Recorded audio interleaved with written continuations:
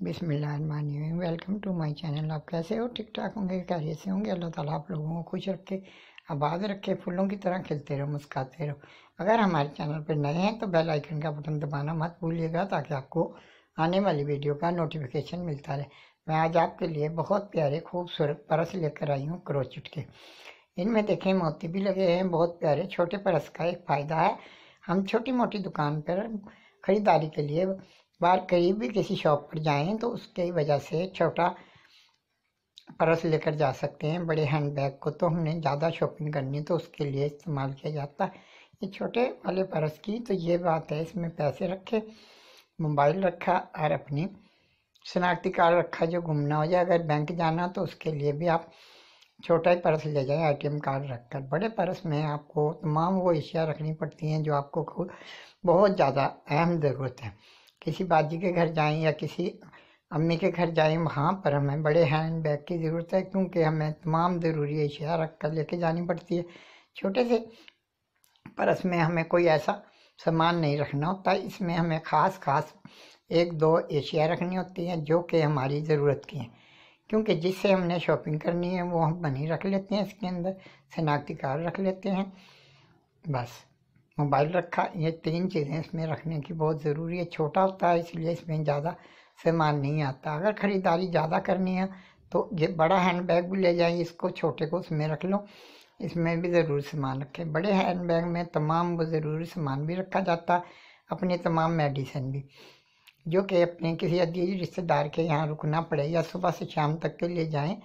तीन टाइम तो हमें मेडिसिन लेनी होती है, इसलिए मेडिसिन का इस्तेमाल करना पड़ता है, वो ज़रूरी रखी जाती हैं, इसलिए।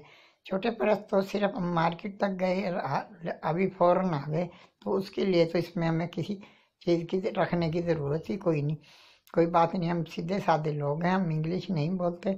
हमारी जो अपनी वॉइस है, इसी को आप कबूल करना और पसंद करना। हमारी वॉइस है और हमारे पास पसंद आए तो लाइक करना, सब्सक्राइब करना, दुआओं में याद करना, दोस्तों से शेयर करना, कमेंट करके ज़रूर बता देना हमारी वॉइस। कैसी लगी और परस कैसे हैं? परस तो बहुत क्लासिकल के हैं, आप देख कर खुश होंगी। मेरे मुँह में पानी आ रहा तो आपके क्यों नहीं आएगा। आप एक दो परस ख़रीदारी करें, गिफ्ट दे दें अपने दोस्त को यूनिवर्सिटी वाली दोस्त को दें, किसी खाला को दे दें पुप्पो को दे दें, कज़न को दें, जिसको भी आपका दिल चाहे दे सकती हैं। एक छोटी सी मैं आपको डॉक्टर की आपको दास्तान सुनाती हूँ, सच्चा वाक़ एक डॉक्टर के पास एक मरीज़ आया, बच्चा था, उसके दिल में सुराख था।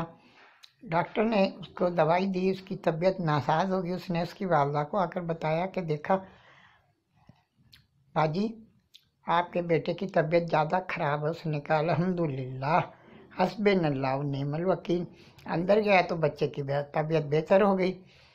फिर आकर बताया, बच्चे की तबीयत बेहतर होगी। तो वालदा ने कहा कि अल्हम्दुलिल्लाह।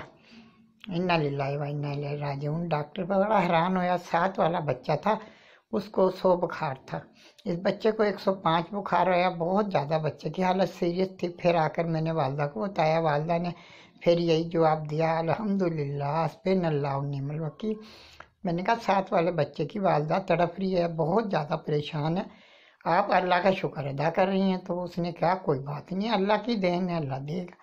जब वो बच्चा मिल मुकम्मल सही हो गया तो अपने घर चले गए।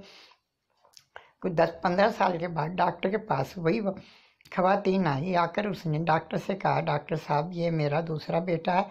तो उसके खामिन से पूछा, डॉक्टर साहब ने ये सब्र शुक्र किस लिए करती है? उसने कहा, इसको चौदह साल औलाद नहीं हुई थी। अल्लाह का शुक्र अदा करती है चौदह साल बाद अल्लाह ने इसे बेटा दिया।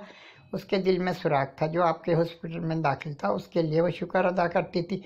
तो वो सही हो गया तो अल्लाह ताला ने उसे दस साल बाद फिर दूसरा बेटा दिया।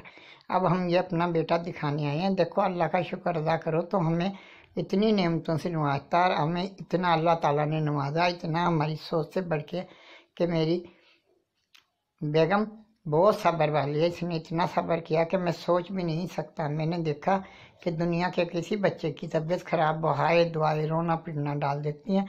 इस औरत ने तो इतने सब्र से काम लिया और अल्लाह से दुआ की हाथ उठाकर उसके बेटे को अल्लाह ताला ने ऐसी सेहत और तंदुरुस्ती दी कि आज उसकी वालदा बड़ी खुश है। डॉक्टर के पास आकर उसका शुक्रिया अदा कर रही थी और डॉक्टर को कह रही थी, अल्लाह